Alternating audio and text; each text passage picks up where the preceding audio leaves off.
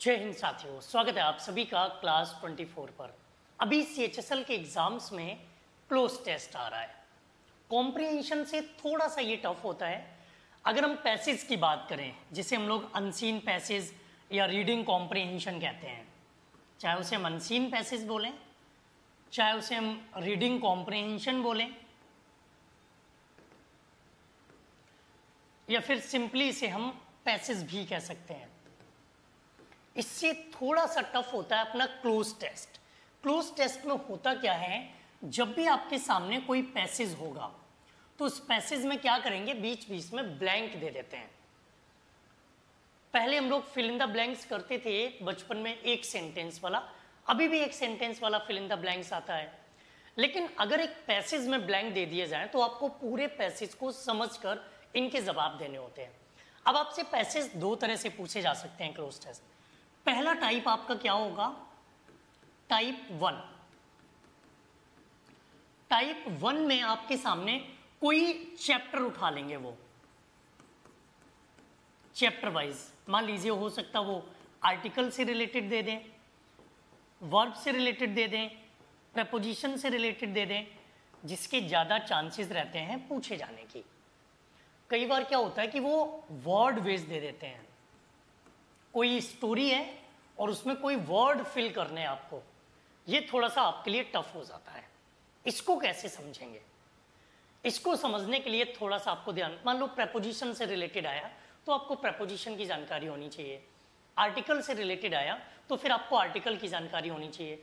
Verb में tense वाला आएगा तो आपको ये ध्यान रखना चाहिए कि यस्टरडे आएगा तो वर्ब की कौन सी फॉर्म यूज़ होनी चाहिए। अगर हम वहाँ पर टुमारो यूज़ करेंगे तो वर्क की कौन सी फॉर्म आएगी? अगर हम नाउ का यूज़ करेंगे किसी सेंटेंस में तो वर्क की कौन सी फॉर्म आएगी? ये तो अपना टॉपिक पर बेस्ड हो गया। इसके बाद आता है वर्ड वेज मान लीजिए कोई सेंटेंस हमने लिखा we had watched that movie last night, it was, अब यहाँ पर आपके पास ऑप्शन है वनाल ऑप्शन है गुड ऑप्शन है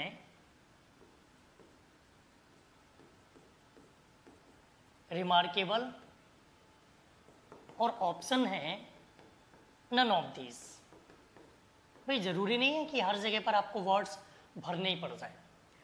अब मूवी या तो अच्छी हो सकती है या मूवी खराब हो सकती है। मूवी रिमार्केबल नहीं हो सकती। यादगार नहीं हो सकती। यादगार कोई टास्क होते हैं।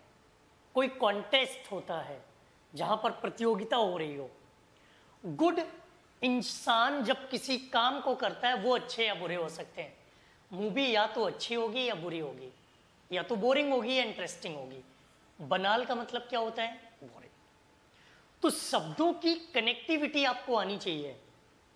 मान लीजिए कि हमने यहीं पर ऐसे लिख दिया कि I have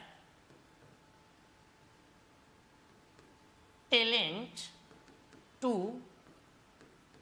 drive the car in zigzag path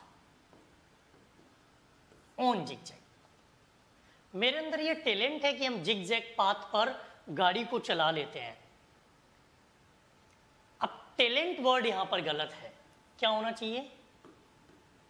skill क्योंकि ऐसा तो नहीं कि बचपन में पैदा होते ही हमने गाड़ी चलाना शुरू कर दिया था। गाड़ी हमने अपनी मेहनत से चलाना शुरू सीखा होगा।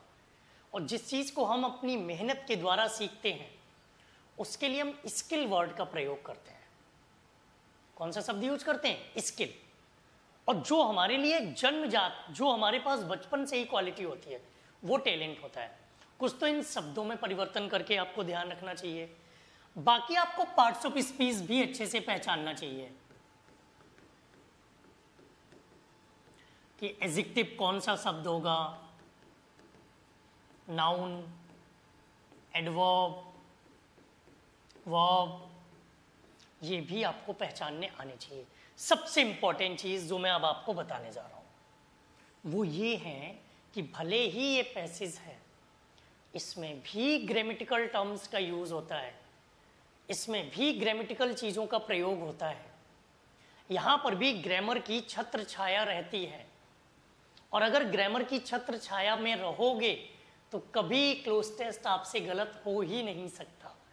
क्लोज टेस्ट गलत होने का केवल और केवल एकमात्र रीजन यही होता है कि क्लोज टेस्ट को आप उस तरीके से नहीं पढ़ते हो जैसे उसको पढ़ना चाहिए। उसमें भी ये सब्जेक्ट वर्ब एग्रीमेंट उसका यूज़ होता है। उसमें भी टेंस का प्रॉपर ध्यान रखना चाहिए। उसमें भी वर्ब की फॉर्म का ध्यान रखना है। ये केवल तीन चीज़ें आप ध्यान रख लो। कोई भी पैसेज गलत नहीं होगा। क्लोज टेस्ट का एक भी क्वेश्चन गलत नहीं होगा। एक भी क्वेश्चन गलत नहीं होगा। अगर हम आपसे कहें कि कोई पैसेज ऐसा है जो मान लीजिए कि सोशल इविल्स पर है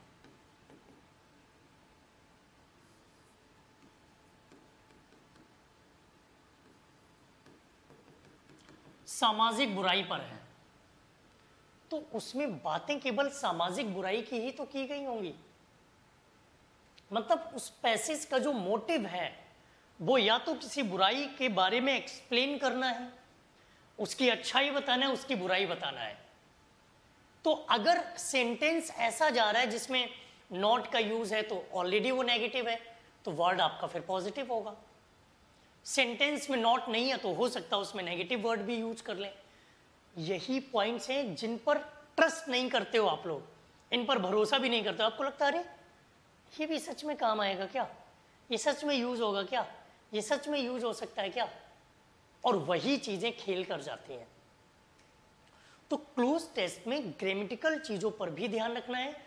वर्ड बेस्ड अगर क्लोज टेस्ट आ रहा है तो उसमें केवल और केवल आपको किस चीज़ का ध्यान रखना है? पार्ट्स ऑफ़ स्पीच का। सेंटेंस नेगेटिव है पॉजिटिव है सेंटेंस में बातें किसकी की गई, ये सब चीज़ों को ध्यान में रख के आप इनके जवाब दे सकते हो। और मुझे पूरी उम्मीद है, आप इनकी प्रैक्टिस करना चाहो तो आप English with Sanjeev sir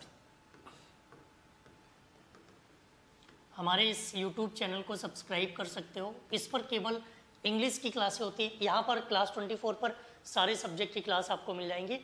English with Sanjeev sir पर केवल आपको इंग्लिश की क्लासेस मिलेंगी।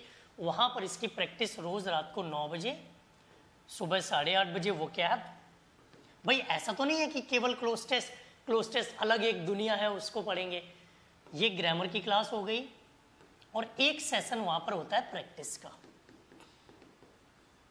तो उन चीज़ों को पढ़ के हम अपनी तैयारी को मज़बूत कर सकते हैं, अपनी तैयारी को कंप्लीट कर सकते हैं। ठीक है? तो मिलते हैं अपनी अपनी क्लासेस में, इनकी प्रैक्टिस करो। और सी एच एस एल में इसका बहुत बड़ा कॉन्ट्रीब्यूशन है। उस कॉन्ट्रीब्यूशन के सहारे आप एग्ज़ाम को क्रैक कर सकते हो। थैंक यू जय